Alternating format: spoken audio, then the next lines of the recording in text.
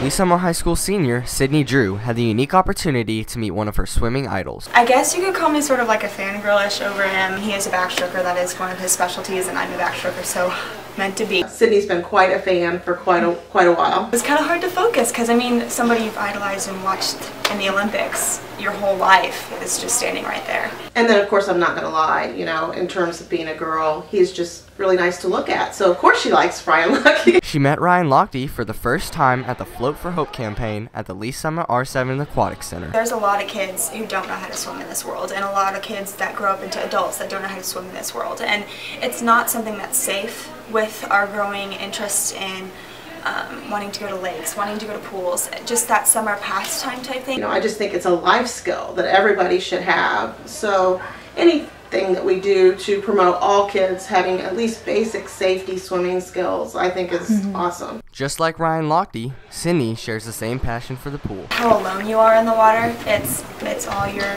deal.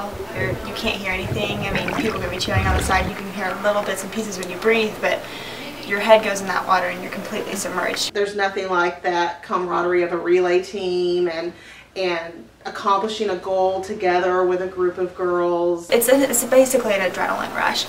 Um, they say take your mark and you are all tense and ready to go and if you move in the slightest you're disqualified for a false start so you have to hold it there you have to hold all that energy in and then as soon as that buzzer goes off you can release it all and then just go. With swimming in her blood she can't wait to dive into the next chapter of her life. I am going to College of St. Mary. It's a little school in Omaha. I'm excited for her that she's going to swim in college. Um, you know, I, I just, I don't think she was done. She didn't feel done. I've already spent so much of my life on it and I've enjoyed it thus far.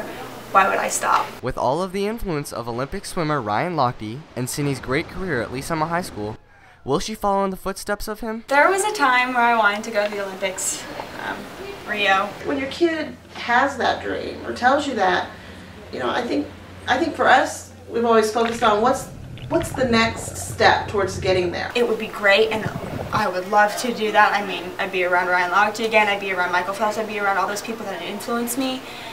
But at the same time, for me, other things in my life are bigger goals. Even though the Olympics was a past dream, the water will always be her home. It's taught me a lot of like lessons in life. It's helped support where I'm going in my life. Oh, I think Sydney is going to cherish swimming memories for the rest of her life. It's going to be something I look back on and remember. Reporting for Tiger Broadcast, this is Parker Gates.